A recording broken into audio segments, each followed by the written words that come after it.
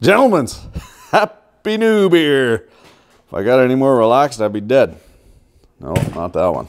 That creeping gloom of not having worked, uh, yeah, we got to get on. Get on her and stay a pitter patter. Let's black at her. We're going to have a compare and contrast of the Fap-Off sander versus the Milwaukee. Of course, prior to that, we got to get her A part under the skirts and so forth, see how she chooches. Got to make the most important part of any YouTube video. Hey, I don't make the rules. An appealing thumbnail. There. C'est tout arrangé avec les gars des vues. Uh -huh. Angle of the dangle, get the contrast right. She'll clean up nice in MS Paint. In contravention of the edicts handed down from the prophet of teardowns, e e, uh, Dave Jones, on the e don't turn it on, take it a pot, and also framing, you fuck. Let's see if I can't uh, get this thing. We're gonna test her. I, I have been using it, so I'm just gonna show you how it works. Essentially, you put the battery in, and I've been using this around the machine shop for deburring.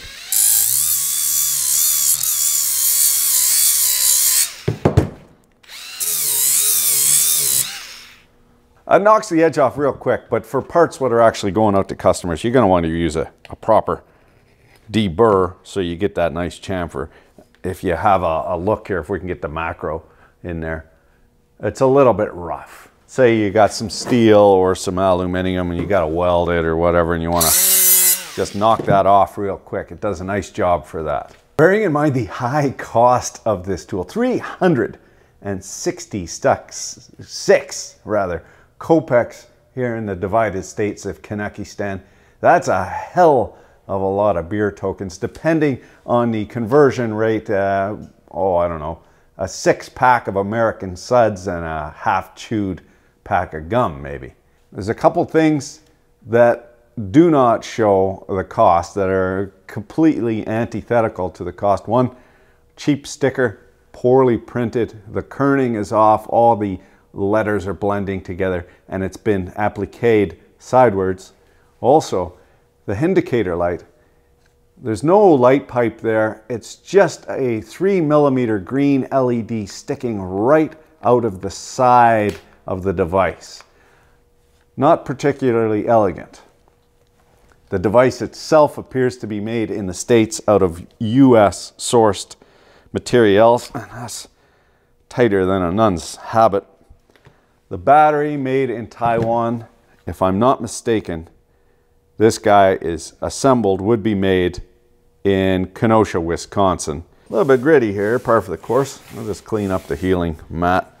Couple more on the hand feel side. You know, you, you gotta you gotta see if it feels good in the hand. You can't stick it in dry, you gotta warm her up.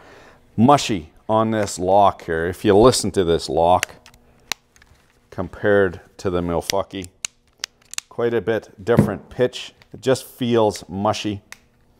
And then when you do lock it, you see that's got quite a bit of slop in there. The change from fast to slow, there doesn't seem to be too much of a snap action. Just from one to two, there's a little detent there, but it feels very, very mushy. And on the Milwaukee, it's quite a bit more positive. While we're on the Milwaukee, one of the things that they've done very smart is allowed you to have a lock pin. In this guy, you'd need two wrenches. And it's just that a little bit much uh, shorter and also way more convenient. You don't need to get a little tiny wrench in there in order to change your uh, accoutrement. Great gleeful schadenfreude. I'm glad I bought it so you didn't have to. If we could get the thing to focus, you fuck. Yeah. Look at the clamshell there. So they had to, uh, they put this in a rotary mold so that they can overmold this uh, TPS after they do the basal platen. But you can see the fastener has already plastically deformed that fastener bore there. You see that? Already. A little crack in this side of the clamshell. If you look down in here, they've had to make they've had to mitigate the, the, mold itself in order to hold that in the right position so they could overmold it. And you can see all these little tabs been smeared off like it come out of there, like it didn't want to come out of there. It's, uh, yeah, it's pretty gnarly, actually, considering, of course, the cost of this 366. That's before Justin Trudeau gets his fair share of the rake. I mean, the poor bastard's got to buy socks. Yeah, see? Fucking hassle. Never mind that 9 16ths. I'm, I'm gonna guess is half inch and uh, seven. Oh, for frog snacks. Conveniently, they give you collet wrenches.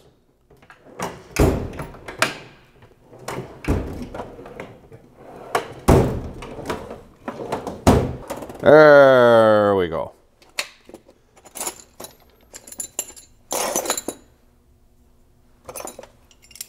Ah, so easy. At her, let's check for sidewards compatibility. This one apparently 15 16ths, 7.9 millimeters. Oh, oh, oh, okay, no. This one's way bigger. So if you get all the all the ends for the Milwaukee and you upgrade or you downgrade or whatever, there's no sidewards compatibility. Good to know. It's a new year. Mmm, menthol. We haven't seen these since uh, 1978. Obscure YouTube reference. Well, not so obscure. Trying to be more organized. Give the fascist pedants a a fighting chance. And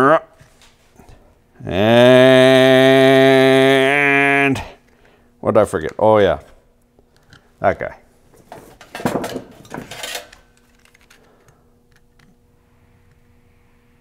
Zip.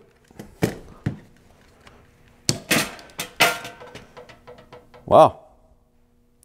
Not much to her. We're gonna have a better look at the inside of that half shell. And you seeing what I'm seeing? I'd like you to chime in if and you own this tool or if and you have for any amount of time. I'm wondering how well this overmolding stands up. I have a feeling that it uh, peels off in short order because there's no anchoring points, through-hole anchoring points on the casement itself. Glass fiber reinforced 30%, no markings for this overmolding. I would assume it's butylene so it will get attacked. Uh, it will get attacked by solvents and oils. And yeah, the only place where you see the through holes is on this little tiny guy. And you see they absolutely need those because it's already starting to peel off. Here's all the little teats, what keep it in place in the mold. We normally see after the fact some, uh, some TIG welding maybe with some stainless steel on that tool steel molding D2 or H13 uh, in order to mitigate this from coming out of the mold prematurely, fucking up the, cocking up the works. And in this case, they've put all these weird little teats on here. Starting now with the Pixie Path, interesting choice, a PCB board for the terminals of the battery. I would expect in a high-end tool to see a proper molded component but nope.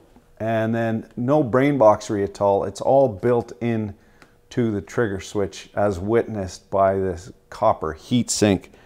And yeah, uh, threaded on, nice thick copper heat sink. You can see it's been it's been punched and then also been pressed to have, I don't know, just some sort of speed holes.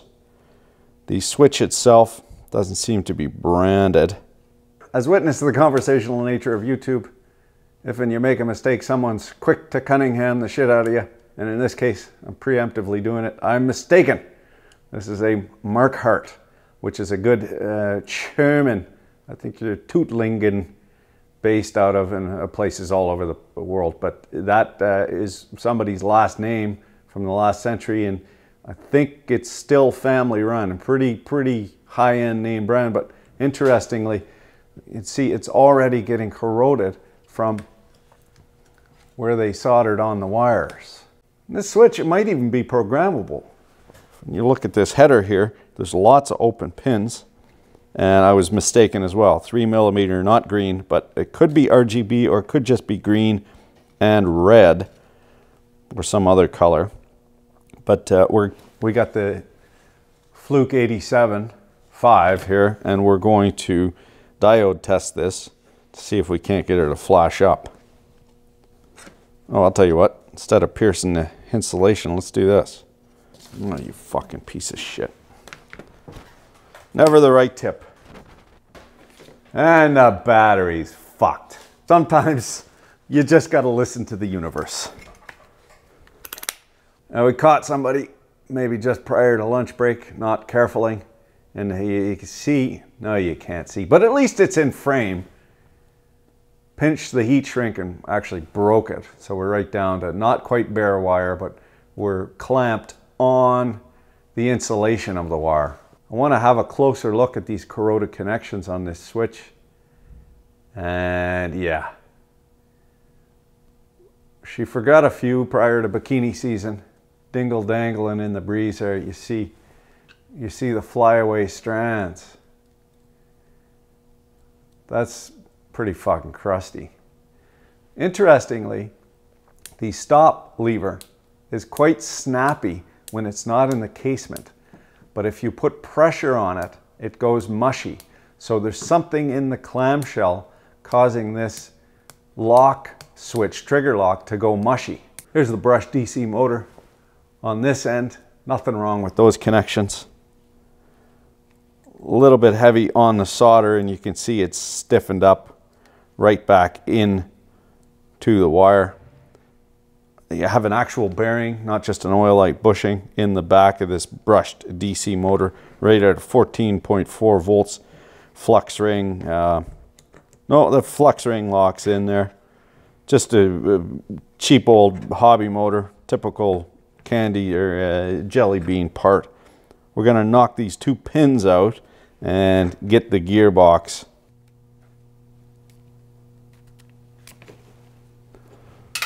Two big long pins, CPO, chrome polished OD.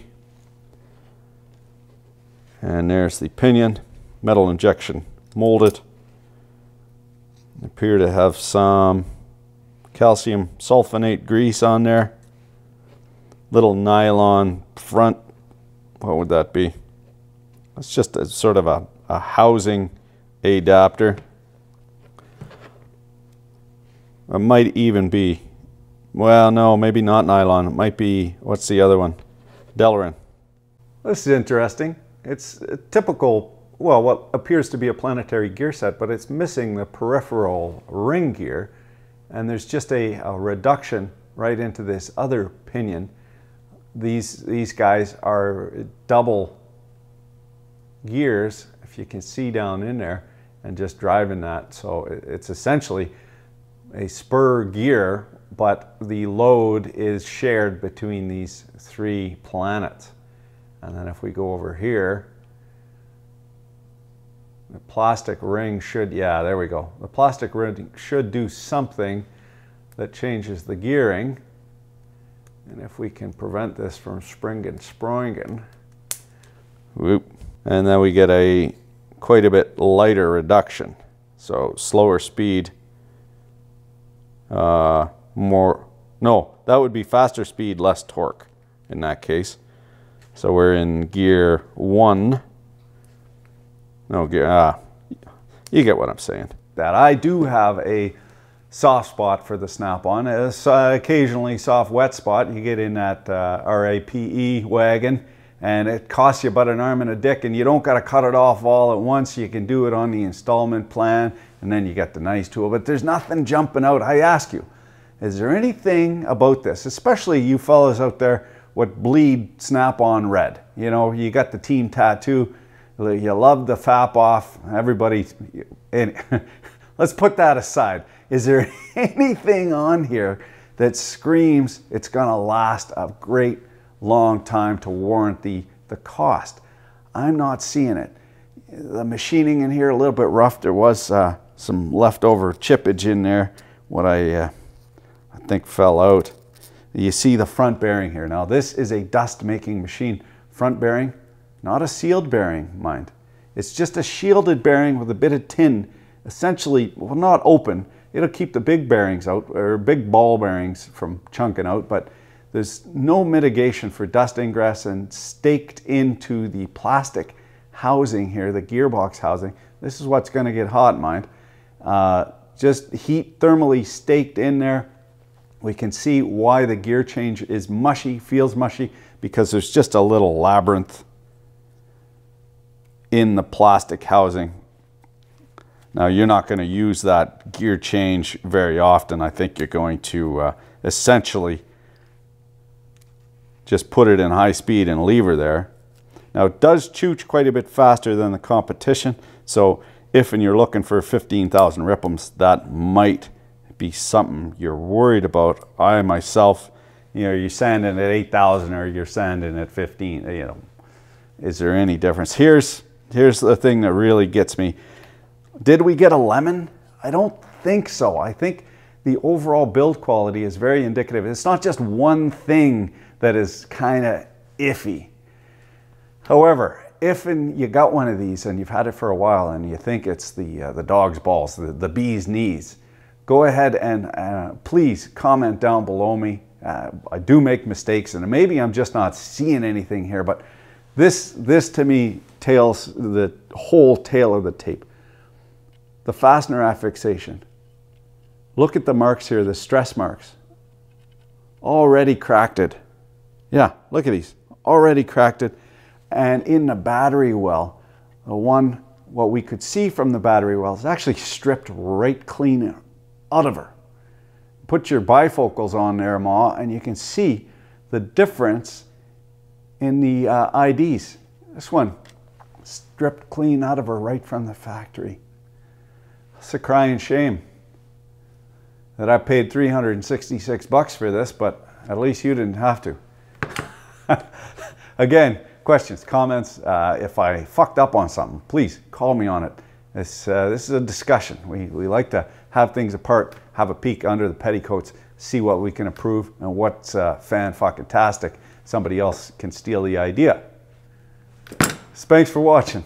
Keep your dick in a voice.